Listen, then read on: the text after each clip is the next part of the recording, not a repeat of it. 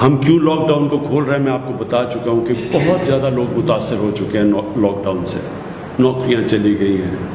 वो तबका जो कि सिर्फ़ दिहाड़ीदार थे, जो गुजारा करते थे, जो पैसा आता था उससे बच्चों का पेट पालने से, वो सब मुश्किल में पड़ गए। तो इसलिए जो जो हम जब लॉकडाउन खोलेंगे तो ताकि लोगों को नौकरियाँ मिलें वापस। लेकिन हमें पता है कि अगर हमने ऐसा लॉकडाउन खोल दिया कि जिधर लोग जमा होना शुरू हो गए और जो हम एस ओ पीज़ यानी जो शराइ, हम रख रहे हैं लॉकडाउन खोलने के लिए, अगर लोगों ने उनके ऊपर अमल ना किया तो ख़तरा ये है कि फिर से ये, एक कोरोना तेज़ी से फैलेगी, क्योंकि अब थोड़ी लेवल हो गई है। तो अगर वो फिर से फैली तो उसका फिर खदशा ये है कि फिर से हमें लॉकडाउन की तरफ़ जाना पड़ेगा। लिहाजा मैं आप सबसे ये उम्मीद रखता हूँ कि आपने फिर अपने यूनियन काउंसिल्स के अंदर, महलों के अंदर जदर जदर आप आपकी लोकेशन है, आपने फिर लोगों के अंदर ये अवेयरनेस पैदा करनी है। आपने पब्लिसाइज करना है कि एस ओ पीज़ क्या है। जिस तरह मस्जिदों के अंदर हमने कहा हुआ है शरात रखी हुई है कि अगर तरावियाँ पढ़ने जाना है तो या मस्जिदों में जाना है आपने तो वो फासले रखने हैं आपस में। और फिर कई और हमने शरात रखी हुई है।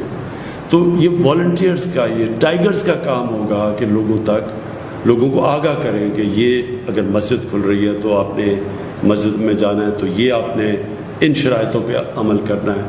अगर दुकानें खुल रही हैं तो तब आपने क्या करना है? अगर फैक्ट्रियाँ खुल रही हैं तो आपने लोगों को आगाह करना है इस चीज़ में। हालाँकि ये जब हम खोलेंगे फैक्ट्रीज़ और दुकानें और सब चीज़ें तो इसमें ज़िम्मेदारी जो फैक्ट्री का मैनेजर है, उसकी ज़िम्मेदारी होगी, जो दुकान चलाता है, उसकी ज़िम्मेदारी होगी। लेकिन आवाम के अंदर हमारे टाइगर फोर्स जाके लोगों को आगाह करेगी। सबसे बड़ी तो ये ज़िम्मेदारी है, क्योंकि ये सबसे बड़ा हमारे लिए चैलेंज अब होगा कि एक तरफ़ लोगों को कोरोना से भी बचाएँ और दूसरी तरफ़ हम ये भी देखें कि लोग बेरोज़गारी से भूख से ना मरें। तो उनके लिए रोज़गार भी हो और फिर कोरोना से भी बचाएँ। इस बैलेंस के लिए आप टाइगर्स की ज़रूरत पड़ेगी कि पब्लिक के अंदर ये अवेयरनेस कैंपेन करें, लोगों को आगाह करें कि किस, किन शराइ के मुताबिक हम लॉकडाउन को खोल रहे हैं। दूसरी चीज़ जो मैं पहले कह चुका हूँ, मस्जिदें, इनके अंदर यूटिलिटी स्टोर्स मैं भी कहूँगा भी हमारे यूटिलिटी स्टोर्स के चेयरमैन बैठे हुए हैं।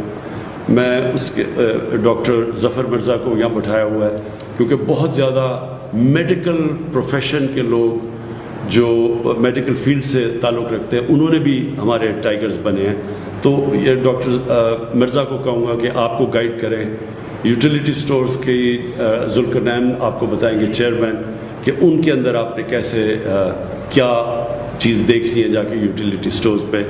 मैं चाहूँगा कि उस्मान डार आपसे मुख्तर बात करें कि जो इन्होंने सियालकोट के अंदर एक पायलट प्रोजेक्ट किया है वॉल्टियर्स के साथ टाइगर्स के साथ तो वो उसकी भी बात कर सकते हैं। आ, तो नंबर वन चीज़ कि टाइगर फोर्स एक वॉल्ट्री फोर्स है। आपने कहीं पैसे इकट्ठे नहीं करने हैं। आपका काम ये नहीं है आपको कोई तनख्वाहें नहीं मिल रही आप एक जहाद लड़ रहे हैं हमारे साथ मिलके। और आप ज्वाइन करें एडमिनिस्ट्रेशन के साथ मिलके आप काम करेंगे।